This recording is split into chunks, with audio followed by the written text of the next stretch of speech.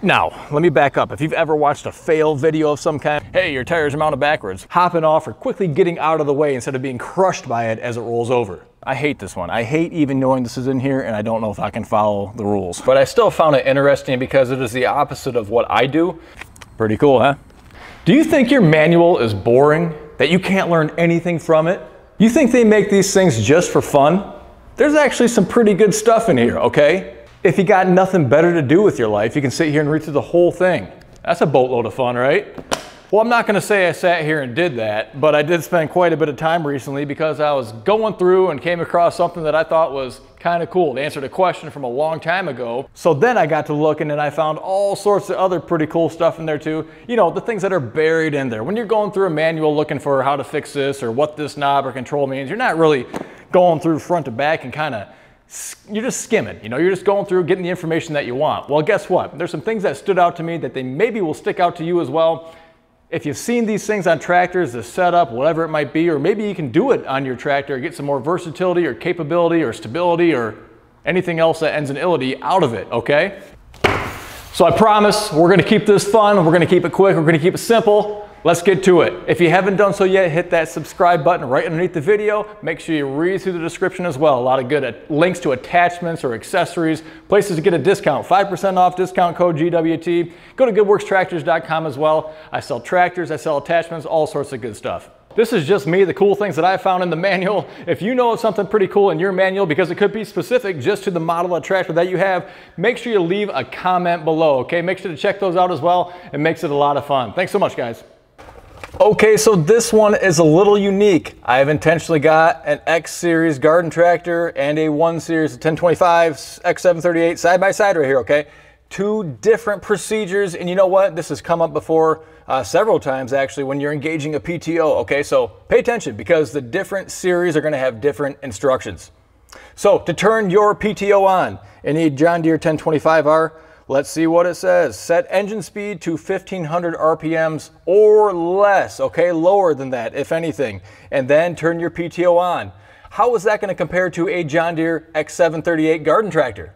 This is totally different, okay? So after engine has warmed up, move the throttle lever to the maximum engine speed and then pull your PTO knob and turn it on, okay? So totally different depending on what machine you have, what series you have. So never assume it's the same for every machine. Always check your manual. Good information to know, right?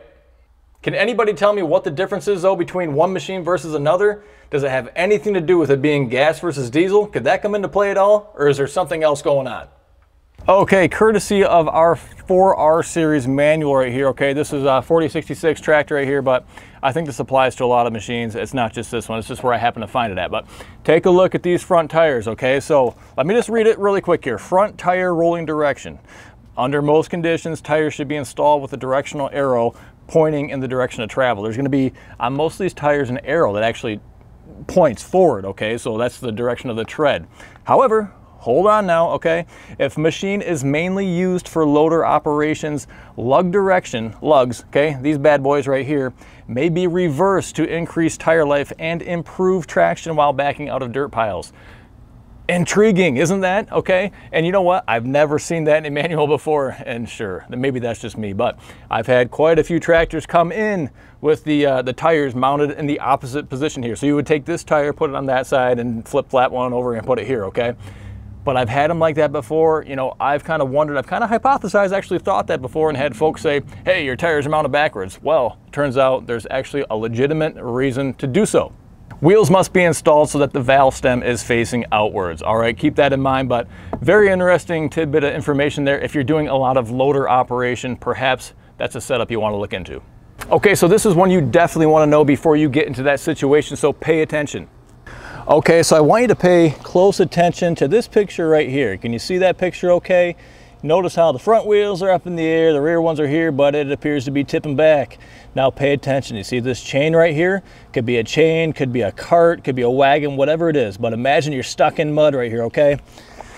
You get these, now, let me back up. If you've ever watched a fail video of some kind where you see a tractor online and it is just tipped right back up over, you know, maybe in a, uh, a pulling contest even, or, you know, some guys have a, a wagon loaded down with brick or wood or whatever it is, and it's just in swampy, muddy areas and things like that, or it might not even be. It might be on a hard surface like this too. But at a certain point, you got to be very careful if you're stuck and you're just sitting there spinning because what could happen, and this is right in the manual, okay?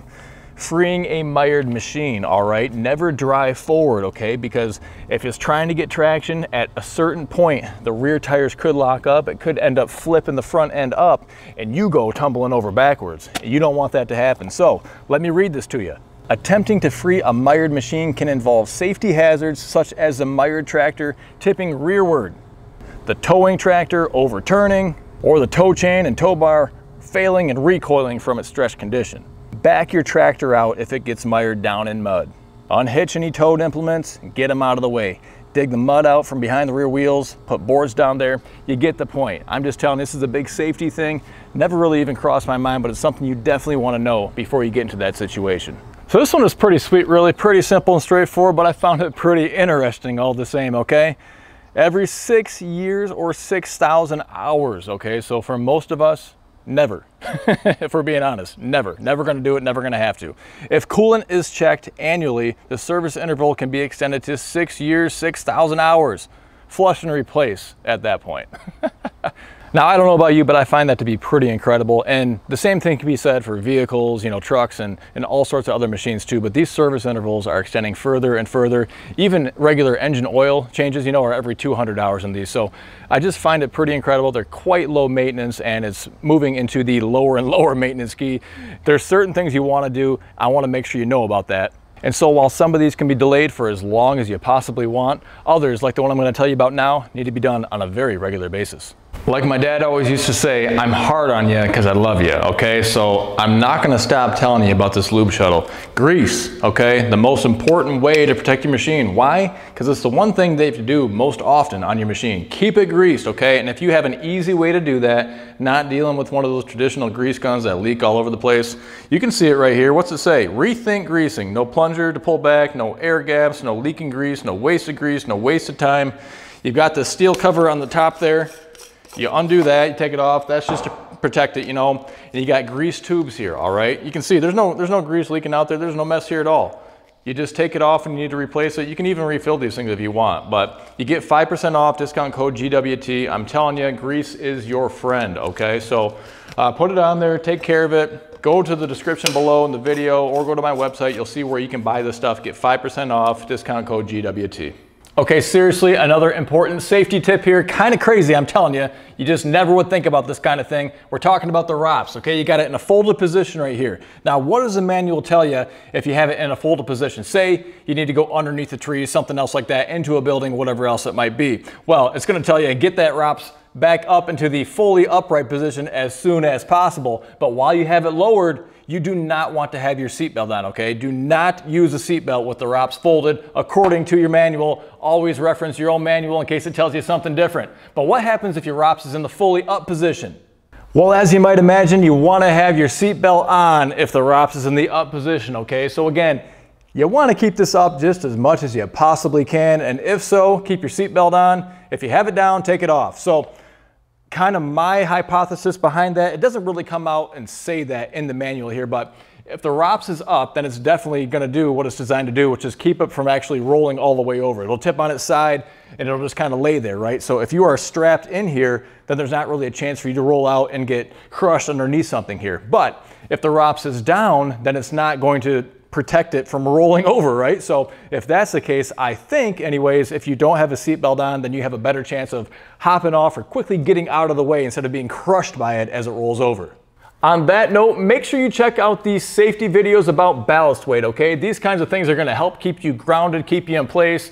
Dualies, wheel spacers, liquid ballast, rear ballast, all sorts of stuff, loading your loads low, everything you can do to make sure that kind of situation does not occur. You know, just when I thought I knew everything about trailering a tractor, you learn something new. Right here in the manual, close fuel shutoff valve if your machine is equipped. Really? You gotta turn the fuel off if you're gonna transport your machine on a trailer? Additionally, okay, I hate this one. I hate even knowing this is in here and I don't know if I can follow the rules. it says position machine on trailer so the hood or engine cover opens from the rear of the trailer, okay? That means for most of these, you gotta put it on backwards. I really hate backing on uh, tractors onto trailers. I like to drive them on, I like to back them off. That's just what I like doing. What do you guys think? You gonna back them on or drive them forward? Okay, a couple interesting ones right in your loader manual. Pay attention now. We've talked about it before, but it becomes official now that we've located it in the manual, okay? So leveling in reverse, say you're grading out a drive, something like that.